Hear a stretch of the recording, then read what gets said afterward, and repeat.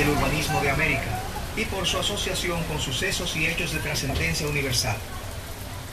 Al cruzar la calle, a la derecha, tenemos el Hotel Francés y a la izquierda, la Embajada de México. Ambos edificios son del siglo XVII. Destacaremos que son un ejemplo de la arquitectura española original de la ciudad, con ventanas y balcones muy pequeños. Las casas que siguen al hotel son una muestra de la influencia de Francia en el periodo en el que gobernó en este territorio.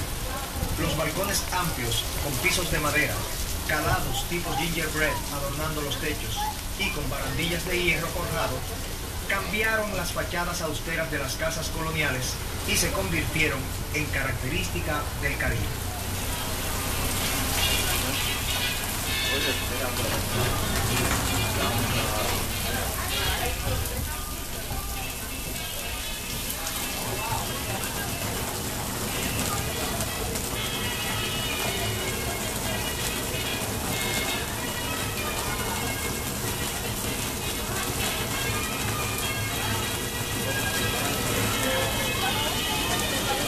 Let's go.